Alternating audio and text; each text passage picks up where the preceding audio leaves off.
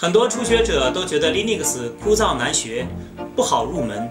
Linux 命令行与英文启示，让不少初学者望而却步。Linux 知识纷繁复杂，你该从哪里学起？Linux 的内容浩瀚如海，如何才能循序渐进？请跟随我，李明，请跟随我，沈超。带你走进 Linux 的大门。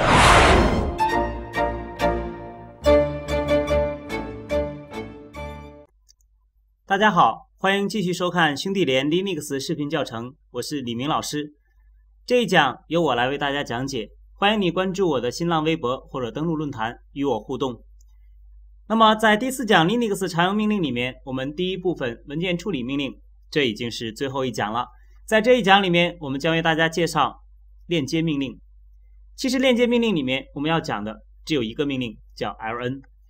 那么我们在前面的内容里面曾经涉及过一个链接文件的概念，我们曾经提到过一个词叫软链接。在这一节课里面，我们要重点为大家介绍一下链接文件在 Linux 里面是怎么样来用的，包括我们提到的软链接和硬链接又有什么样的不同点。首先，我们先来看一下这个命令的用法。rn 命令呢，使用上并不复杂，只有一个选项叫杠 -s，也是我们用的最多的一个选项。那么我们在使用的过程里面，只要用 ln 或者 ln 杠 -s，先写上原文件，再写上目标文件。原文件就是你想生成链接文件的文件，而目标文件就是你对这个文件建立的链接文件的名称是什么，它会新生成的那个文件。那么我们先给大家举两个例子，怎么样来生成一个链接文件？我们看一下，这有两个例子。第一个呢是生成一个软链接，用 ln 杠 -s，系统中有一个显示欢迎信息的文件，存放在 etc 目录下面。我们把这个文件生成一个软链接，可以用 ln 杠 -s 加上文件的绝对路径，然后我把软链接放在杠 temp 目录下面，假设叫 s 点 soft。这个时候，它就会生成一个软链接文件。如果要生成一个硬链接，可以用 ln 写上原文件，然后写上硬链接文件的文件名，这时候就生成一个硬链接。我们先来做一下这个步骤，然后我们来观察一下软链接和硬链接各自有什么特点，它们在什么时候来用，以及呢有什么区别。我们一起来看一下。好，切换到命令窗口。首先呢，我们先生成一个软链接。Ln 杠 -s 先写上你要对哪一个文件生成软链接，写上它的文件名称，然后呢，你要放在什么位置？假设我把它放在存放临时文件的目录下面，放在 temp 下面，起个名字，为了方方便识别，我把它叫 s 点 soft，soft 表示软链接。回车，这个时候呢，这个文件就已经生成了，这是软链接文件。我们再生成一个硬链接，ln etc s temp 下面，我们建立一个硬链接，假设叫 s 点 hard，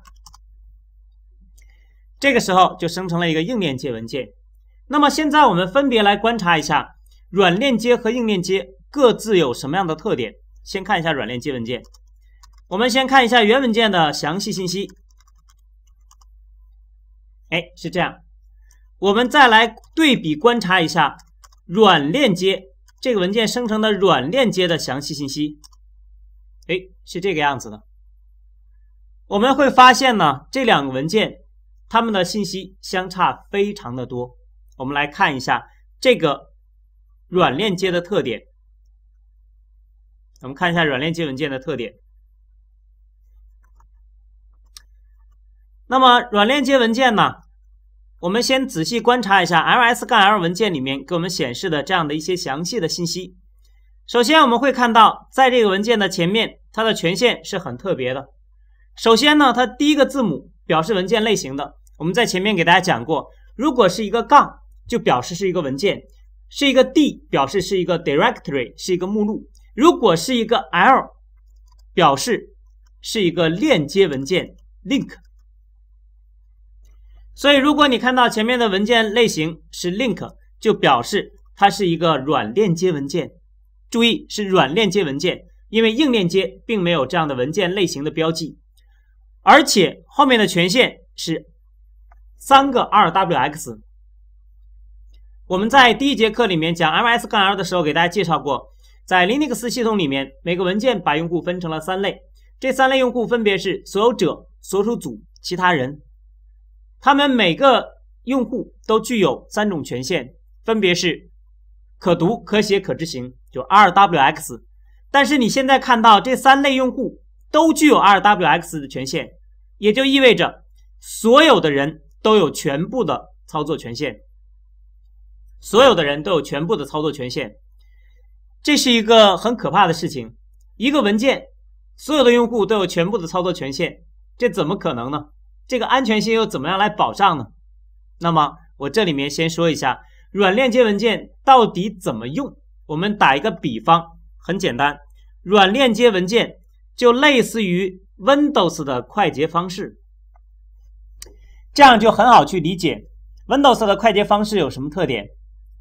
第一个，为什么要用快捷方式？大家都喜欢把经常用的一些软件放在你的 Windows 操作窗口的桌面上。这样的话，你只要打开电脑，首先显示的就是桌面。你在桌面上很容易找到你想要看的那个或者用的那个软件。那么，比如说沈超老师很喜欢用快播，他又在快播呢，在桌面上创建了一个快捷方式。他每天打开电脑就直接双击快播，他天天就很容易的找到他最爱的快播这个软件，把它打开运行。所以他就把它做成了快捷方式。那么，这是快捷方式的作用，它可以方便快捷的让你找到你最常使用的一些东西。所以，就像 Windows 的快捷方式，像你放在桌面上的那些图标一样，这是快捷方式的特点，也是为什么要用软链接，便于你做这样的规划，方便你进行管理。所以，它跟 Windows 快捷方式啊是有这样的一个很大的类似的特征，而且。你双击 Windows 桌面的图标，它是运行那个图标，它就是一个启动的程序吗？其实并不是。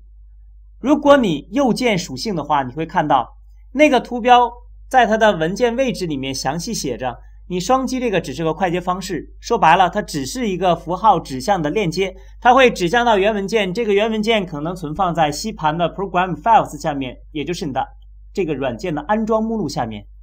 它只是一个很简单的链接指向。换句话说，Linux 的软链接也是如此。我们现在看到的这个软链接文件叫 iso 点 soft，但实际上呢，你注意观察一下，它在文件里面有一个很特别的指示，里面写了这个软链接 temp iso 点 soft，箭头指向 etc iso，也就是说指向它的原文件。其实，当你运行这个快捷方式的时候，这个软链接的时候，包括 Windows 双击这个快捷方式的执行图标的时候，其实归根结底，它还要找到原文件来进行执行。软链接如此，Windows 的快捷方式也是一样。其实，你就可以把 Linux 的软链接理解为它的作用就跟 Windows 的快捷方式是一样的。所以，为什么它的软链接权限可以给三个 RWX？很简单。因为这个权限不决定了原文件的权限，也就是说，每个用户在对这个软链接进行操作的时候，到底它能具有什么样的权限，是由这个文件对应的原文件的权限，对应的原文件的权限最终决定的。所以，记住，在 Linux 系统里面，所有的软链接文件，它前面的这十个文件类型和权限的标识，全部都是 L。RWX RWX RWX，这是呢软链接文件第一个特点，用 L 来标记权限全部为三个 RWX。第二个呢，我们刚才也提到过了，你记住这个文件很小，你看到只有七字节啊，只有啊只有十字节，原文件有四十七个字节，但其实就算原文件有四千七百个字节，它的软链接也差不多是这么大。就跟 Windows 快捷方式是一个道理，你就算再大的一个文件，你把它生成一个快捷方式，它也非常的小，因为它仅仅是一个符号链接，它的作用仅仅是你在运行它的时候，给你指向原文件去运行原文件而已。所以呢，它很小，它只是一个符号链接。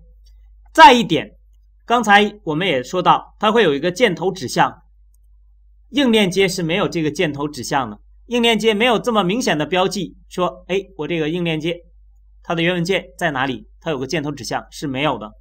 所以呢，这是软链接的特点。那么记住，在 Linux 系统里面，软链接其实用的是比较多的。那么为什么要用软链接？你就想一想，Windows 为什么要使用快捷方式？所以说呢，我们在应用的过程里面，记住 Linux 的软链接有这样的三个特点。第一个，Linux 的软链接文件，我们注意观察，只要是软链接，它一定是以 L 开头，权限是三个 rwx，。只要是软链接，这个文件一定很小，因为它只是一个符号链接。只要是软链接，它一定有个箭头指向到它所对应的原文件，这是软链接的特点。那么我们再来看一下硬链接，我们看一下刚才生成的硬链接文件，iso 点 hard，这是它的详细信息。再看一下我们原始的这个 iso 的文件，它的信息，我们可以注意观察一下这二者有什么不同。你会发现，除了文件名所在的位置不一样以外，是一模一样的。所有的信息都是一模一样的，包括文件的大小。这好像就相当于是拷贝一样。但是要注意，我们前面讲过，得相当于是 CP 杠 P 保存了文件属性的拷贝，文件的修改时间都是一致的。那么这样的一个硬链接。到底跟 CP 杠 P 有什么区别呢？相比 CP 杠 P，它最大的一点不同就是它可以同步更新，可以同步更新。也就是说，原文件和硬链接文件两个文件可以同时更新。我们做一个实验，这里面有一条命令，是我们后面会涉及的内容。这个命令呢叫 echo，可以用双引号，可以引用一个你要写入到。某一个文件中的内容，假设我写一个三 w 点 lamp browser 点 net，两个大于号，这个我们后面也会详细再去讲解。前面为了做这个实验，大家可以先简单的尝试一下这个操作。这条命令的作用是可以往一个文件的末尾写这样一行三 w 点 lamp browser 点 net，你可以写到原文件，也可以写到硬链接文件。我们注意观察一下，这两个文件会同步更新。在做这个实验之前，我们应该先看一下啊，用我们上节课讲过的命令 cat，先看一下这两个文件的内容。嗯，edcs 原文件，硬链接文件是一致的。我们现在随便往其中某一个文件里面写一行，比如说写到原文件里面。这个时候，你再观察原文件，就在这个文件的末尾增加了一行三 w 点 lamp browser 点 net。我们再观察一下硬链接文件，啊，tmp 下面的 isu 点 hard 硬链接文件也增加了这样一行。那么这里面提一个小的问题，就是软链接查看的时候会有什么变化？当然也会是这样，因为软链接只是一个符号链接，所以你在浏览软链接文件的时候，它归根结底会找到原文件，打开原文件的内容。那么这好像也看不出什么太大的差别。我们做一个比较夸张的实验，假设说现在呀，我们把这个 etc isu，我把它备份一下，拷贝到这个 temp 下面，叫 isu 点 backup，然后我把这个原文件把它删掉。我们把原文件删掉，删除了。这个时候，我们再来看一下硬链接和软链接会有什么样的一个情况发生。我们先来说软链接，软链接会怎么样呢？因为软链接就像 Windows 的快捷方式一样，如果现在呢，你把 Windows 吸盘下面 Program Files 下面你装的一个软件。把它直接把安装目录删了，这时候你运行桌面的图标，它找不到原文件，它一定会提示你这个运行不了。那么如果现在 Linux 里面的软链接，你把原文件删除了，软链接无法定位到原文件，自然它就会提示没有那个文件或目录。但是我们再来观察一下硬链接，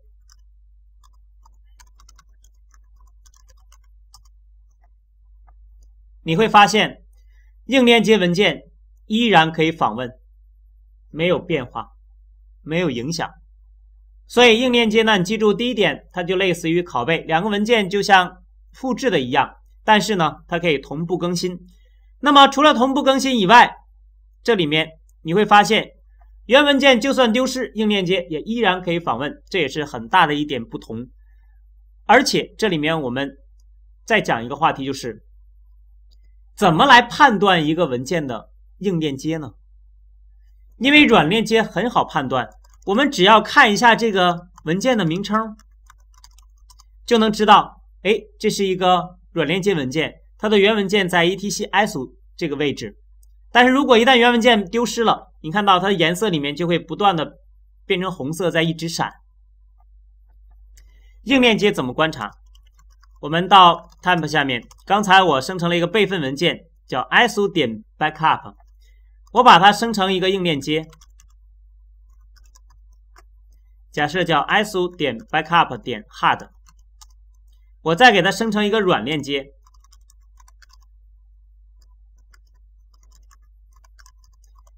叫 soft。我们前面在讲 ls 命令的时候讲过一个选项叫杠 i，可以查看到一个文件的 i 节点。我们通过什么来判断这个文件是不是它的硬链接？我们可以观察这个项，我们来看一下。ls 杠 i，我们依次看一下这三个文件的 i 节点。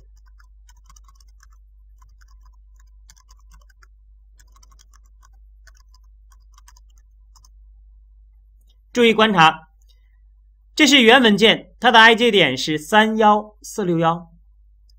这是硬链接，它的 i 节点也是三一四六四六一。这是一个很奇怪的现象。你看软链接，它就不是这样。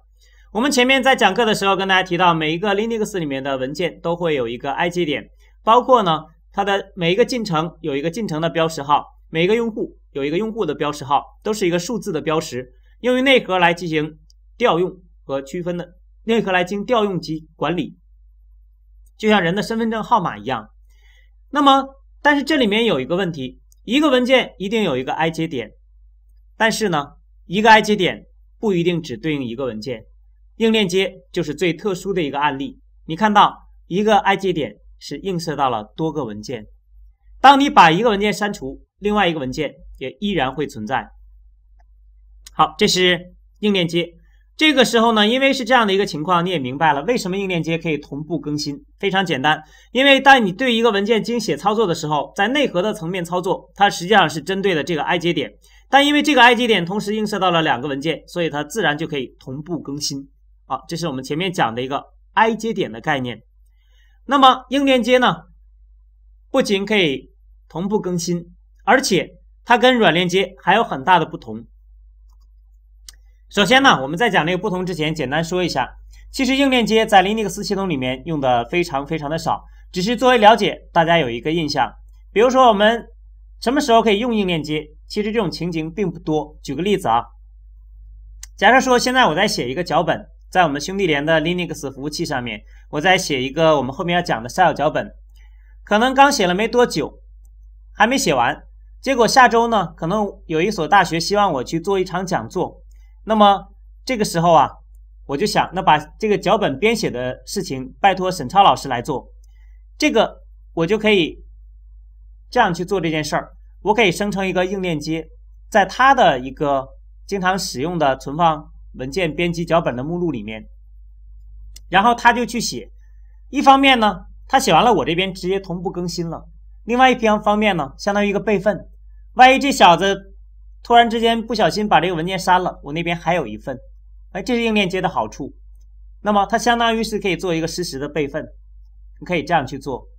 那么这是硬链接的。但是确实，它用的不算特别多，而且硬链接，记住它有两一个两个特点，跟软链接不太一样。第一个，硬链接不能跨分区。简单来说，就是你假设像 Windows 来说，如果把把这个事情放在 Windows 系统里面来做的话，就相当于 Windows 吸盘有一个文件，你不能把它硬链接到 D 盘。我们在安装 Linux 的时候分了不同的分区，比如说至少有根分区和杠 boot 分区。那么，如果我们把一个文件，假设说，我现在放在 temp 下面的 isu 点 backup，这是属于根分区的，因为在安装系统的时候单独划分的根分区，它保存了这个文件。但是你想把它放在另外一个分区杠 boot 分区，在这里面叫 isu 点 backup 点 hard，这是不行的。这就相当于是你要把一个 Windows 吸盘的文件生成个硬链接到 D 盘一样的道理，它是不能跨分区的。我们一回车，你会发现它提示你无效的跨设备连接，但如果是软软链接是可以的，我们可以尝试一下的。就算它跨分区，你安装系统的时候把杠 boot 单独划分了一个分区，但是也没有关系，软链接是可以的。所以硬链接和软链接最常见的区别，第一个。就是硬链接不能跨分区。第二个，硬链接不可以针对目录使用。比如说呀，我们要把一个目录做一个链接，假设说，我们现在呀要把这个系统的 temp 这个目录做一个硬链接，我把它放在刚 root 下面，叫 temp 点 hard。这个时候你会发现有一个提示，叫做不允许将硬链接指向目录。不允许将硬链接指向目录，也就是说，硬链接不能针对目录来设置，但是软链接是可以的。就像在 Windows 里面，比如说你把 D 盘的一个目录生成一个快捷方式放在桌面上，方便你经常进入这个目录来进行查找文件，这是允许的。Linux 里面软链接也一样允许，我们可以直接把一个目录生成一个软链接，也是可以的。所以硬链接呢和软链接最主要的有这样的两点区别，需要大家有一个了解。这是关于这一节课讲的链接文件，我们简单做一个总结。链接文件呢其实只有两种用法，第一个叫生成软链接，第二个叫生成硬链接。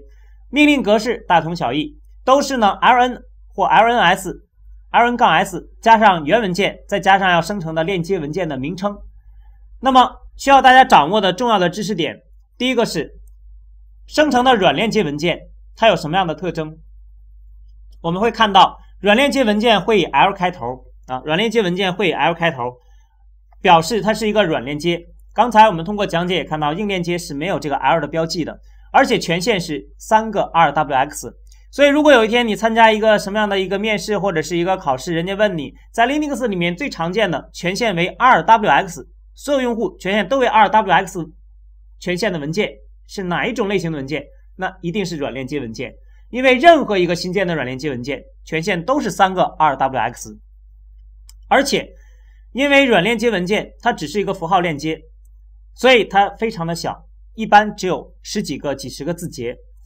再者，软链接文件会有一个非常清晰的一个箭头指向，把原文件对应的把链软链接文件对应的原文件做了一个箭头的指向。那么最重要的，记住一点：什么时候用软链接文件，就是什么时候用 Windows 快捷方式，你就什么时候用软链接，只是为了便于你的管理、便于使用而已。那么这是软链接文件，我们在 Linux 里面用的最多的一种链接文件类型。硬链硬链接文件呢，比较像拷贝加上同步更新，像 CP 加 P 的拷贝保持了文件属性嘛，所以你看到原文件和硬链接文件，它所有的属性都是一模一样的。那么唯一不同的一点就是它可以同步更新，一个文件改变了，另外一个文件同步更新，而且就算是其中一个文件被删除或者丢失，另外一个文件依然存在。那么，因为硬链接和软链接它的 I G 点是一样的，我们用 ls 杠 i 可以看到这个现象。另外注意一点，硬链接和软链接的不同，硬链接不能跨分区。不能把一个分区的文件硬链接到另外一个分区，硬链接不能针对目录生成链接文件，不能把一个目录生成一个硬链接目录，这是不允许的，这是跟软链接非常大的不同。好，那这节课呢，我们就讲这么多的内容，感谢大家的收看，我们下节课再见。如果你想和我交流 Linux 学习的问题，可以登录兄弟连官方论坛，你就可以找到我。如果你有任何疑问，如果你想获取 Linux 的更多学习资料，请关注“汽车 Linux” 微信公众账号，你就可以找到我。